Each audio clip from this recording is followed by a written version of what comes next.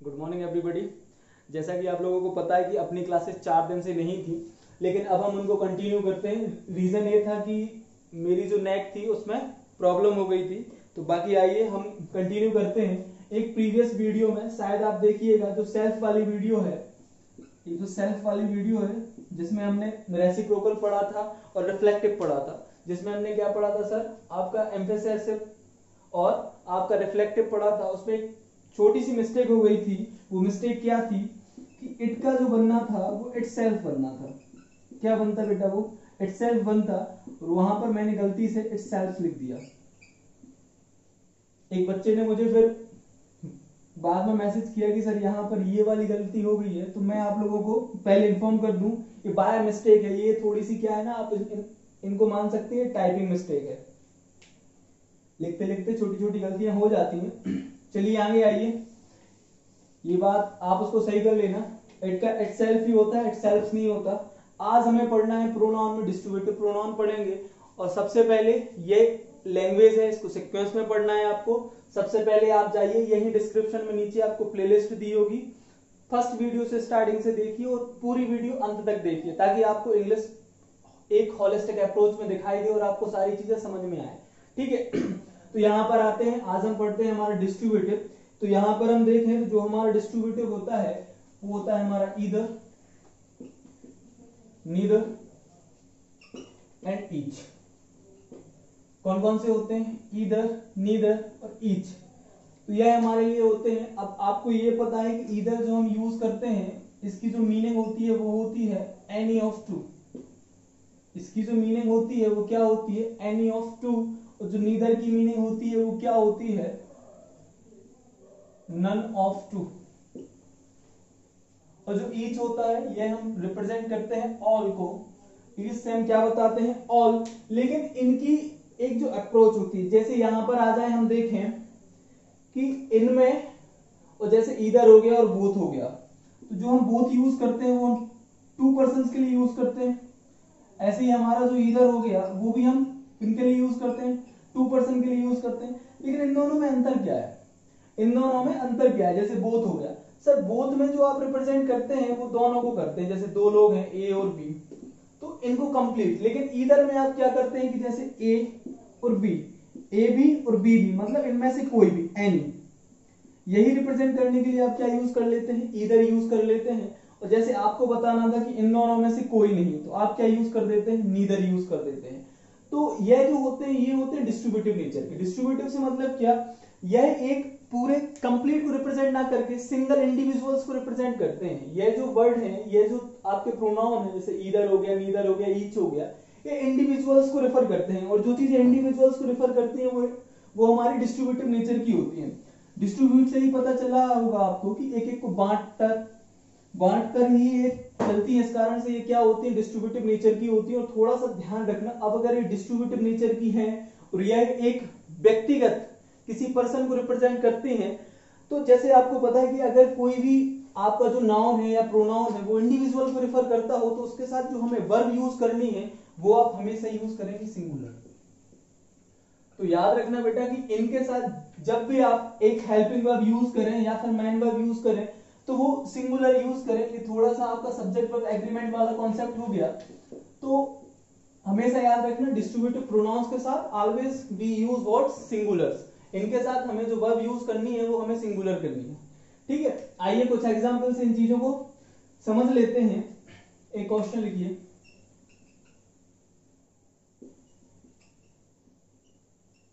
Neither of these ten boys are allowed to enter the classroom. यहाँ पर आ जाइए, यहाँ पर मैंने क्या लिखा है? Neither of this ten boys are allowed to enter the classroom तो यहाँ पर आप देखिए, यहाँ पर जो हमारे लिए ये आप देख रहे होंगे, यह हमारे लिए क्या हो गया बेटा? प्रोनाउन ये हमारे लिए क्या हो गई? प्रपोजिशन हो गई। और यह इस प्रपोजिशन का अपना ऑब्जेक्ट हो गया। यह एक अपनी प्रपोजिशन का ऑब्जेक्ट हो गया। यह नाउन हो गया। यह आपके लिए दीज डिटरमाइनर हो गया। These those that this a determiner भी होते हैं और प्रोनाउन भी होते हैं। हमने लास्ट वीडियो में पढ़ा था।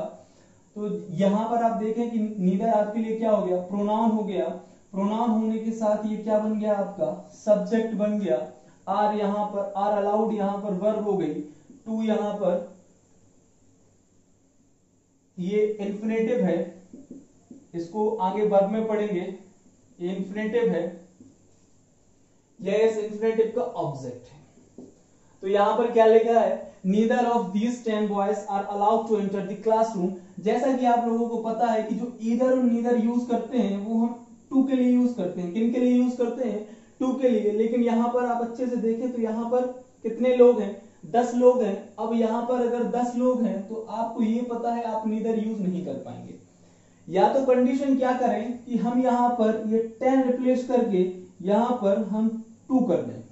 क्या कर दें हम? यहाँ पर टेन रिप्लेस करके यहाँ पर टू कर दें। लेकिन ऐसा करना सही होगा या गलत होगा, इस बात को भी जान लें। अब बेटा, अगर तुम ऐसा कर दो, अब जैसे दस लोग थे, अब उनको तुम दो कैसे बना दोगे? ये तो पॉसिबल नहीं है। लेकिन हम प्रोनाउन चेंज कर सकते हैं अकॉर्डिंग टू द नंबर हमें नंबर के अकॉर्डिंग प्रोनाउन को चेंज करना है.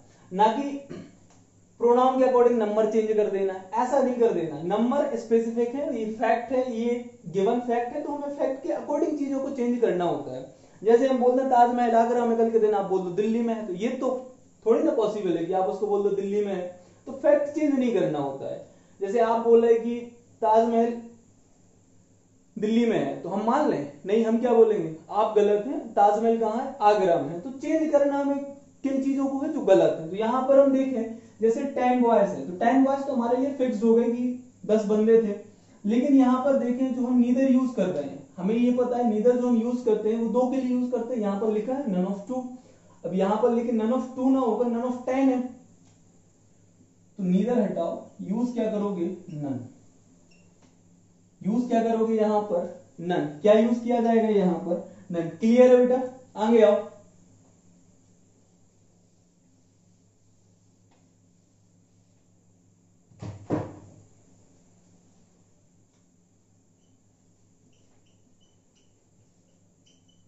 He broke his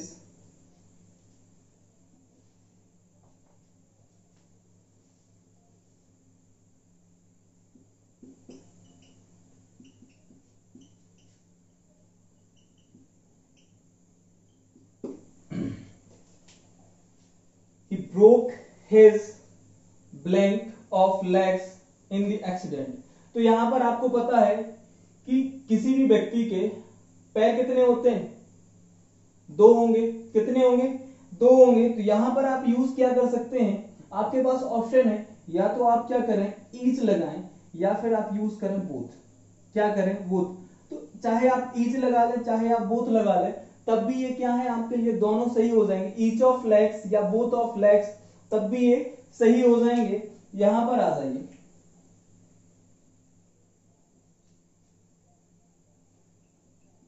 he knows each तो यहाँ पर आप देखिए ये हमारे लिए क्या हो गई? वर्ब ये हमारे लिए क्या हो गया? सब्जेक्ट और ईच हमारे लिए क्या बन जाएगा? ऑब्जेक्ट ईच का मतलब क्या है? प्रत्येक व्यक्ति को। ही नोज़ ईच तो मतलब क्या वो प्रत्येक व्यक्ति को क्या करता था? जानता था। तो यहाँ पर जो हमने यूज़ किया है ईच इसका मतलब क्या है? प्रत्येक। अब याद रखना बेटा ईच से ही मिलती जुलती एक हमारे लिए एक और वर्ड होता है, वो होता है एवरी कॉम्पिटिशन में काफ़ी कंफ्यूजिंग होता है ईच और एवरी का यूजेस तो यहाँ पर याद रखना कि ईच अकेला प्रोनाउन होता है। ईच क्या होता है? प्रोनाउन होता है, साथ में डिटरमाइनर भी होता है। ईच क्या होता है? प्रोनाउन भी होता है और साथ में डिटरमाइनर भी होता है। लेकिन एवरी सिर्फ़ और सिर्फ़ डिटरमाइनर होता है। डिटरमाइनर ज़्यादा कंफ्यूज ना हो एडजेक्टिव ही कहलाते हैं। ये क्या होता है? डिटरमाइनर प्लस क्या होता है? प्रोनाउन होता है। लेकिन एवरी सिर्फ़ और सिर्फ़ क्या होता है? डिटरमाइनर होता है। तो आपको इतना तो पता होगा कि प्रोनाउन और डिटरमाइनर की कुछ यूजेस हैं। इनमें बहुत डिफरेंस होता है। सबसे पहले हम बता दें, एक बेसिक डिफरेंट डिटरमाइनर के लिए बेसिकली क्या चाहिए होता है? नाउन अगर नाउन नहीं तो डिटरमाइनर नहीं. लेकिन प्रोनाउन क्या होते हैं? रिप्लेसमेंट होते हैं किसके? नाउन के. तो ऐसा नहीं है कि नाउन अलग से इनको चाहिए. एक चीज़ और दूसरी चीज़ डिटरमाइनर विदाउट नाउन स्टैंड नहीं कर पाते, लेकिन प्रोनाउन कर सकते हैं. और बता दें डिटरमाइनर कॉम्प्लीमेंट नहीं बन सकते आपके. क्या नहीं बन सकते? कॉम्प्लीमेंट नहीं बन सकते. प्रोनाउन बन सकते हैं. एक क्या अंतर होता है कॉम्प्लीमेंट नहीं बन सकते. दूसरी चीज़ डिटरमाइनर आपके सब्जेक्ट ऑब्जेक्ट नहीं बन पाएँगे. अगर ये सब्जेक्ट ऑब्जेक्ट नहीं बन पाएँगे, लेकिन प्रोनाउन बन जाएगा। तो ये कुछ डिफरेंसेस हैं जो आपको यहाँ पर ध्यान रखने हैं कि जैसे यहाँ पर अगर लिखा होता ही नोस एवरी तो ये गलत हो जाता। क्योंकि एवरी डिटरमाइनर होता है तो इसके लिए नाउन चाहिए। अगर मैं यहाँ पर ऐसे ना लिख के ऐसा लिख देता, इसी सेंटेंस को थोड़ा सा मैं चेंज कर देता हूँ। ही नोस एवरी पर्सन मैंने क्या लिखा? He knows every person of his area या फिर हम लिख दें ईच पर्सन क्या लिख दें? चाहे आप यहाँ पर ईच लिख दें, चाहे आप एवरी लिख दें, ये क्या यूज़ हो रहा है बेटा? ये डिटरमाइनर बने हैं, क्योंकि ये नाउन के लिए लगे हैं। ये नाउन है, ये नाउन के आगे लगे हैं तो ये क्या है? डिटरमाइनर है। अब इनमें तो कंफ्यूजन नहीं है, लेकिन अगर सिंगल यूज़ करना है तो सिंगल तो बेटा प्रोनाउन ही यूज़ होगा। डिटरमाइनर तो सिंगल आते ही नहीं है तो प्रोनाउन सिर्फ़ और सिर्फ़ क्या होता है? ईच होता है। तो यहाँ से हमने कुछ चीज़ें सीखी। आगे बढ़ते हैं। कुछ एग्ज़ाम्पल को डिस्कस करते हैं। आइए। यहाँ पर कुछ क्वेश्चंस दिए हुए हैं। इनको आपको सॉल्व करना है। सबसे पहले आप क्या कीजिए? आप अपनी तरफ़ से अप्रोच कीजिए। इनको सॉल्व करने का ट्राई करो जल्दी से। अरे वीडियो पॉज करके ट्राई करना है। चलो और डिस्कस करते हैं। यहाँ पर देखें हम। सबसे पहले जो हमारा सेंटेंस लिखा है blank of these guest must bring blank own card तो यहाँ पर आप देख रहे हैं कि यहाँ पर जो गेस्ट का नंबर है, वो हमारे लिए स्पेसिफिक नहीं हमें पता नहीं है कितने। तो हम यहाँ पर क्या यूज़ कर सकते हैं? देखो, यहाँ पर दो का तो स्पेसिफिकेशन है नहीं। तो आपको ये पता है, आपको सब्जेक्ट चाहिए, क्योंकि यह जो सब्जेक्ट होगा, यह इस प्रपोजिशन का होगा। ये जो यहाँ पर जो गेस्ट लिखा हुआ है, ये ऑब्जेक्ट होगा किसका? इस प्रपोजिशन का ऑब्जेक्ट होगा। तो आपको पता है जो प्रपोजिशन के ऑब्जेक्ट होते हैं, वो जो आपकी वर्ब है, वो वर्ब के सब्जेक्ट नहीं बन सकते। तो ये आपकी वर्ब हो गई। अब आपको यहाँ पर चाहिए सब्जेक्ट अब आपको पता है आप एवरी ईच यूज़ नहीं कर पाएँगे। तो आप यहाँ पर क्या यूज़ करेंगे? एवरी यूज़ नहीं कर पाएँगे। लेकिन आप यूज़ कर पाएँगे किसको? ईच को। यहाँ पर हम यूज़ कर रहे होंगे किसको? ईच को। यहाँ पर आ जाइए। तो यहाँ पर हम क्या करें? गेस्ट हमारे पास प्लूरल है या सिंगुलर है? देखो, देखने में तो हमारे लिए क्या हो गए? प्लूरल है, बहुवचन है। लेकिन यहाँ पर आप देखेंगे तो क्या हम यहाँ पर देयर यूज़ करते हैं? क्या यूज़ करते हैं? देयर उनके अपने कार्ड लेकर आए वो। तो क्या हम यहाँ पर देयर यूज़ कर पाएँगे या नहीं कर पाएँगे? पहला क्वेश्चन देखो, सबसे पहले हम बात कर रहे थे कि ईच हमारा जो होता है वो डिस्ट्रीब्यूटिव नेचर का होता है। डिस्ट्रीब्यूटिव से मतलब क्या वो इंडिविजुअल एक एक को रिफर कर रहा होता है। इसको इसको इसको इसको। ऐसे नहीं होता। ऑल नहीं होता वो। वो क्या होता है? इंडिविजुअल को एक एक को रिफर मतलब व्यक्तिगत। कहा जाए इंडिविजुअल का मतलब क्या? व्यक्तिगत। तो आपको पता है कि जब एक ग्रुप बन जाता है, तब हम उनके लिए दे बोलते हैं या बी बोलते हैं। जो हम बी या दे यूज़ करते हैं, वो हम सिंगुलर्स के लिए तो यूज़ नहीं करते इंडिविजुअल के लिए यूज़ तो नहीं करते, वो हम ग्रुप के लिए यूज़ करते हैं। या दो से अधिक या एक से अधिक लोगों के लिए हम बी बोलते हैं या दे बोलते हैं। लेकिन यहाँ पर आप देख रहे हैं कि आपने यहाँ पर देयर यूज़ कर दिया। देयर तो यहाँ पर पॉसिबल होगा नहीं, क्योंकि जो ईच है ना, वो रेफर करता है किनको इंडिविजुअल्स को एक एक को। अब अगर एक एक को रेफर करता है तो वही यूज़ करो। तो क्या यूज़ करना पड़ेगा यहाँ पर? हिज क्या यूज़ करना पड़ेगा यहाँ पर? His each of these guest must bring his own card तो यहाँ पर बेटा ध्यान रखना कि जब आप आगे यहाँ पर इनके साथ जो पर्सनल प्रोनाउन यूज़ करो तो उनमें थोड़ा सा ध्यान रखना कि ईच या जो तुम्हारे डिस्ट्रीब्यूटिव तुम्हारे क्या होते हैं प्रोनाउंस होते हैं तो इनके साथ सिंगुलर प्रोनाउन यूज़ करना पर्सनल प्रोनाउन क्लियर है? यहाँ पर आ जाइए. Each of the students have done their homework तो यहाँ पर हम क्या लिखेंगे? ईच लिखेंगे. क्या लिखेंगे हम? ईच लिखेंगे. हम क्या यूज़ करेंगे? ईच तो यहाँ पर आपको एक बात और ध्यान रखनी है, ये हमारा किस नेचर का है? डिस्ट्रीब्यूटिव नेचर का है और जो हमारे डिस्ट्रीब्यूटिव प्रोनाउन होते हैं, इनके साथ वर्ब कैसी आएँगी? सिंगुलर आएगी। लेकिन यहाँ पर आप देखें, यहाँ पर आप वर्ब लिख रखे हैं। हैव हैव होती है हमारी क्या? प्लूरल होती ना? तो यहाँ पर आप क्या यूज़ करेंगे? हैज़ क्या यूज़ करेंगे यहाँ पर? हैज़ आगे देखेंगे, एक और गलती है, आपने फिर से देयर यूज़ कर दिया है। अब आपको पता है कि ईच होता है डिस्ट्रीब्यूटिव नेचर का। देयर हमारा ग्रुप को रिप्रेजेंट करता है इंडिविजुअल को नहीं। अब यहाँ आपको इंडिविजुअल बताना है, व्यक्तिगत बताना है तो फिर वही गलती same as it is his अब आपके माइंड में कंफ्यूजन होगा कि यहाँ पर आप हिज यूज़ क्यों कर रहे हैं? हर क्यों नहीं कर सकते? इंडिविजुअल के लिए चाहे आप हिज यूज़ करें, चाहे हर यूज़ करें पॉसिबिलिटी तो दोनों है। तो बेटा, ये आप पर डिपेंड करता है। चाहे आप हिज यूज़ करें चाहे आप हर यूज़ करें एग्जामिनर कभी भी आपको ये दोनों एक साथ ऑप्शन में नहीं देगा। ठीक है, ध्यान रखना वो एक साथ ये दोनों ऑप्शन में नहीं देगा बट अगर आपको प्रेफरेंस करना हो तो आप हिज लिख सकते हैं, या फिर आप हर लिख सकते हैं। इन जनरल यूजली लोग हिज प्रेफर करते हैं, बाकी आप हर भी लिख सकते हैं। क्लियर यहाँ आ जाइए। हमारा थर्ड क्वेश्चन है तो यहाँ पर आप देखें, हमारे पास सब्जेक्ट प्रपोजिशन प्रपोजिशन का ऑब्जेक्ट वर्ब टू इंफिनेटिव ये हमारे लिए इंफिनेटिव हो गया। ये आगे पढ़ेंगे। अभी इसके बाद वर्ब टॉपिक पढ़ेंगे प्रोनाउन के बाद तो उसमें हम इसको डिस्कस करेंगे। तो यहाँ पर देखें, अब आपके पास सब्जेक्ट क्या है? नन लेकिन यहाँ पर आप देख रहे हैं, लोग कितने हैं आपके पास? दो। और दो में से कोई एक, या मतलब दोनों नहीं एनी ऑफ़ टू या नन ऑफ़ टू रिप्रेजेंट करना था। तो आपको पता है कि नन ऑफ़ टू के लिए आपको यूज़ करना होता है नीदर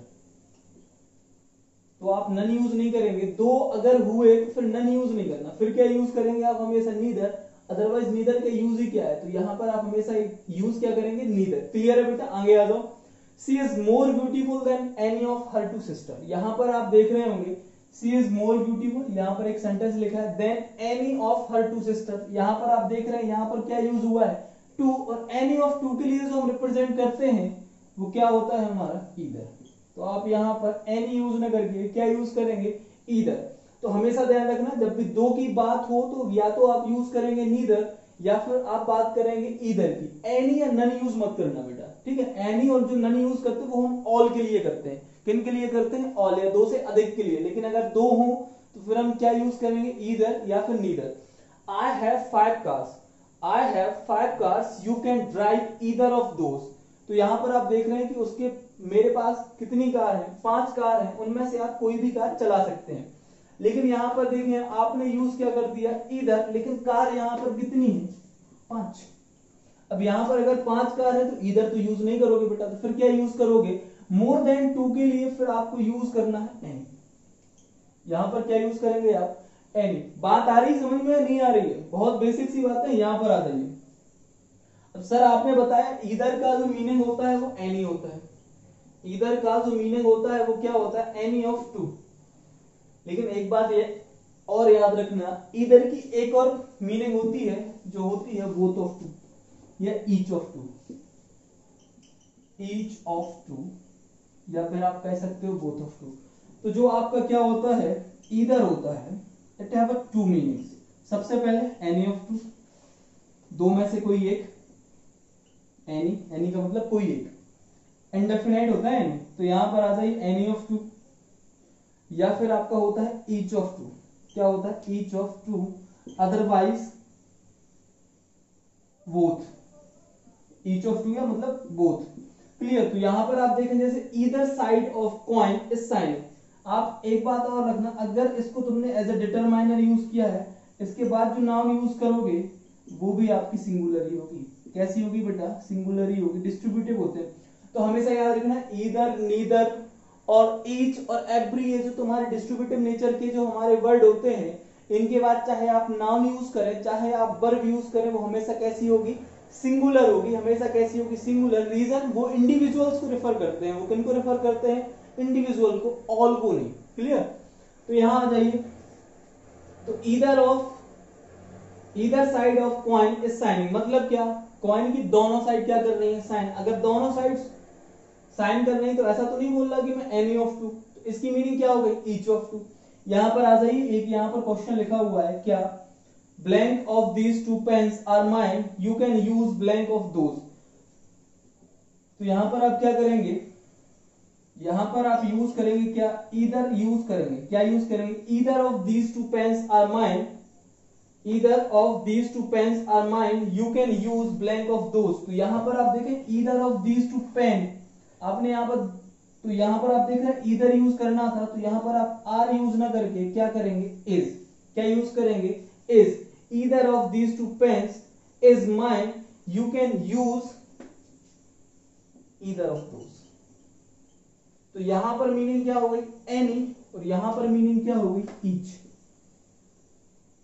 देख रहे हैं, इधर की मीनिंग क्या हो गई बेटा? चेंज हो गई। यहाँ पर क्या है? ईच और यहाँ पर क्या है? एनी तो यहाँ से हमने बहुत सारी चीज़ें सीखी, यहाँ पर और मैं थोड़ा सा इनको कंक्लूड कर देता हूँ।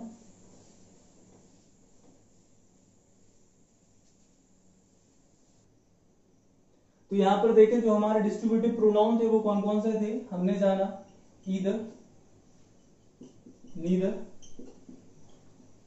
और हमारा ईच याद रखना बेटा, यहाँ से हमने सीखा कि ये हमारे क्या होते हैं? प्रोनाउन ये हमारे क्या होते हैं? प्रोनाउन साथ ही साथ डिटरमाइनर भी होते हैं, ये क्या होते हैं? प्रोनाउन और डिटरमाइनर होते हैं। लेकिन जो हमारा वर्ड होता है एवरी ये सिर्फ़ और सिर्फ़ डिटरमाइनर होता है। ये सिर्फ़ और सिर्फ़ क्या होगा? डिटरमाइनर होगा। हमेशा याद रखना, इसको कभी भी सब्जेक्ट ऑब्जेक्ट या कॉम्प्लीमेंट बनाकर यूज़ मत करना।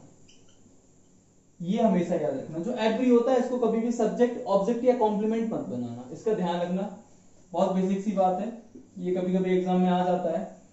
ईदर नीदर ईच और एवरी इनके बाद जब भी आप नाउन यूज़ करें, अगर ये डिटरमाइनर है, आप नाउन यूज़ करें तो नाउन आपकी कैसी होगी बेटा? सिंगुलर नाउन कैसे यूज़ करोगे?